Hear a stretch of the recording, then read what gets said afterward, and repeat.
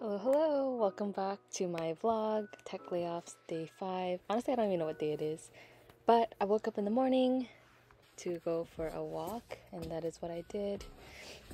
Um, I just got a hoodie, and I try to get out as soon as I can when I get up out of bed, just because I think having the sunlight helps a lot too. I think we have a pretty good view where we're living right now and there's always a lot of nature and greenery, which is nice. Honestly, I think walks are really helpful to help like clear the mind and just be able to bring some peace into the day too. Afterwards, I went to get groceries, so it was 11:11, so I said make a wish. And I just got some general groceries for the week. I saw this coupon for 97 cents French bread, so it was nice. And then afterwards, I just put away my groceries. I found a new way to put my apples in here. I'm trying to fit everything into a pretty small fridge, so every bit of space is useful.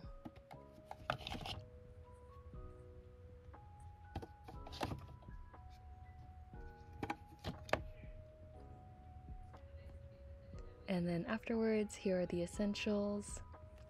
Gotta have whipped cream. and then we have some eggs and spinach, milk and cheese. And then I made also a coffee for my roommate. And it was time to demolish this rotisserie chicken to be able to separate it into um, different meals that I prepared.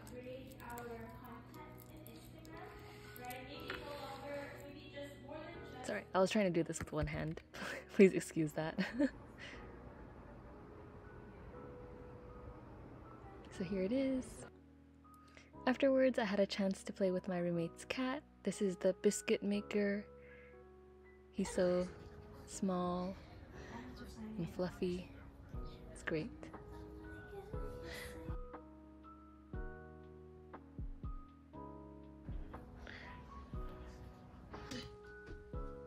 And then afterwards, I made a coffee for myself too.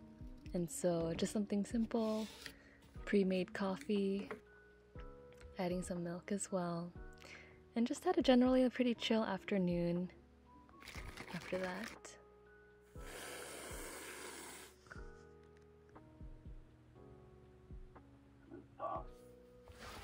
I'm reading this book called The Knowledge Illusion, which talks about how people can overestimate what they know it's been a pretty interesting book, and I've been finding myself really enjoying it.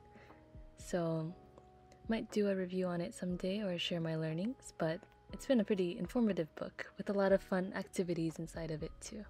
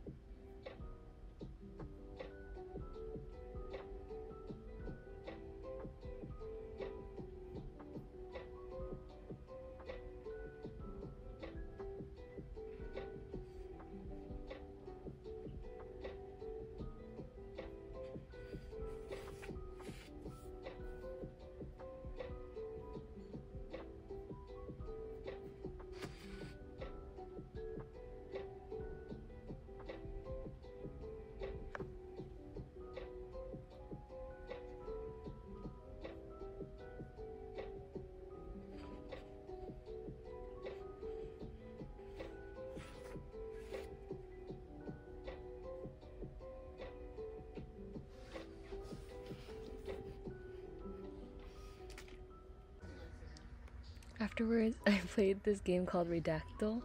It's like a search game where you have to find out what Wikipedia article it is. And tomorrow, I'll do some cable management.